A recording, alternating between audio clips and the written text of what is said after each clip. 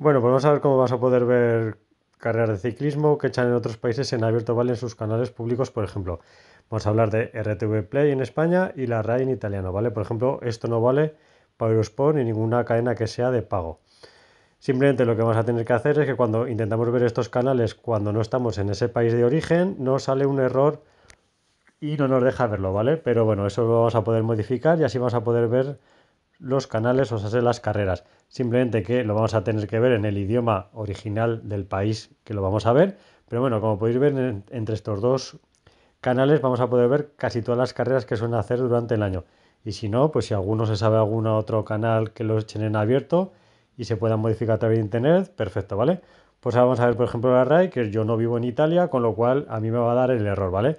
En Italia, por ejemplo, ahora en la RAI van a echar todo el Giro de Italia gratis Así que cuando intentamos entrar a ver una carrera, nos aparece el siguiente error siempre, ¿vale?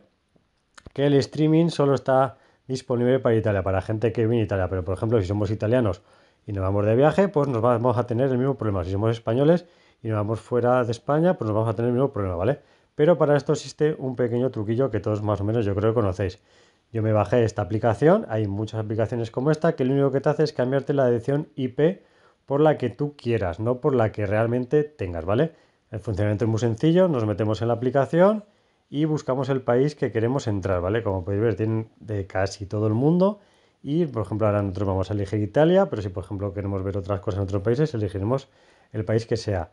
En Italia nuevamente solo tienen dos, Milán y Florencia, unas veces funciona mejor Milán, otras Florencia, eso es darle, simplemente nos le daremos a conectarnos, esperemos un poquito a que nos conecte para que nos cambie nuestra IP, que lo vamos a poder ver como poner, por ejemplo, cuál es mi IP. Si queréis pinchar por curiosidad, nos meteremos y nos dice que nuestra IP es en Italia. A partir de ahora, todo nuestra IP será en italiano y todas las aplicaciones se pensarán que estamos en Italia. Con lo cual, volvemos a entrar en la página de la RAI, le daremos al play.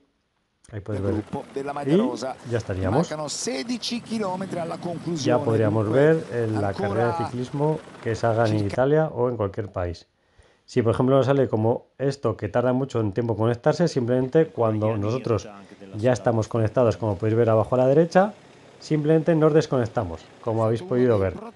Y ya estaríamos otra vez con nuestra IP y todo de nuestro país de origen. Pero como podéis ver, podemos seguir viendo la etapa que sea o la carrera que sea.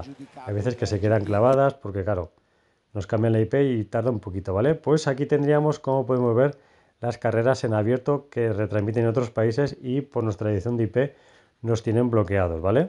Si como, he dicho antes, alguna otra página de algún otro país, lo ponéis en comentarios para que todos nos podamos beneficiar.